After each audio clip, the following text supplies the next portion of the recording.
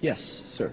Steve, what do we do about the press? I mean, the Wall Street Journal reporters get up in the morning, sell Apple short, and then go write stories about us. And it's clear that it's a perception versus reality problem. Yeah. They don't know shit about operating systems. They don't know anything about tools. They don't know what's going on in the future. They don't know that we're building icebergs, and you build them from the bottom up. Sure. Um, you know, I'm sure that a lot of you have had this experience where you're changing, you're growing as a person, and people still, people tend to treat you like you were 18 months ago.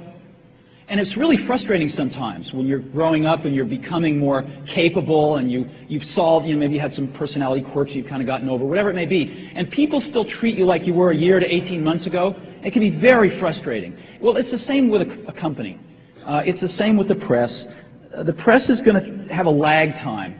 And the best thing that we can do about the press is, is, is to, to you know, embrace them, do the best we can to educate them about the strategy, but to keep our eye on the prize, and that is turning out some great products, communicating directly with our customers as best we can, getting the community of people that are going to make this stuff successful like yourselves in the loop so you know everything, and just marching forward one foot in front of the other. And the press will take care of it. It's like the stock price. The press and the stock price will take care of themselves. By the end of this year, it's going to look quite different.